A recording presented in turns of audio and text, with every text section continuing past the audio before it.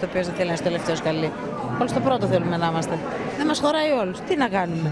Αλλά το όνειρό μας αυτό είναι. Ανάλογα βέβαια σε τι βαθμό αρρώστιας μπορεί να το έχεις, δηλαδή τι μπορεί να θυσιάσεις γι' αυτό. Αν θέλω να κάνω όμορφα πράγματα, μεγάλα πράγματα, ψώνιο είμαι κι εγώ, αλίμονο. Δεν υπάρχει κανένας ηθοποιός που να μην έχει ένα εγώ χτυπημένο. Αν θεωρείς ότι αξίζει τον κόπο να ανέβεις πάνω σε μια σκηνή και να έρθουν άλλοι να πληρώσουν και κάτω από κάτω σε κοιτάνε, σαφώς το εγώ σου έχει, έχει ένα θέμα. Μπορεί να θυσιάζεις τον ύπνο σου για να κάνεις κάτι. Δεν είναι...